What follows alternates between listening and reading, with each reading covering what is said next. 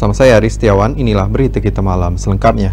Kita mulai dengan informasi yang pertama. Gubernur Kalimantan Barat Sutarmiji memastikan tidak memihak kepada pasangan calon yang akan bertarung dalam pilkada serentak di tujuh kabupaten nanti. Hal ini dilakukan agar hubungan antara gubernur, bupati, dan wali kota akan selalu harmonis.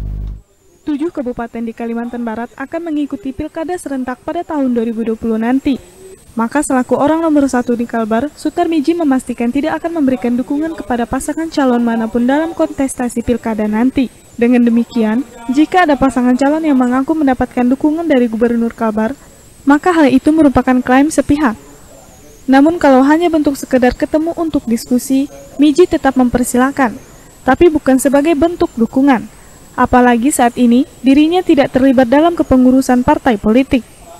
Hal ini disampaikan Sutarmiji agar nantinya hubungan antara gubernur, bupati, dan wali kota tetap terjalin harmonis. Boleh saya mengklaim saya itu klaim sepihak karena saya ingin menempatkan diri saya sebagai gubernur dan tidak kapasitas untuk mendukung siapa pun. Ya.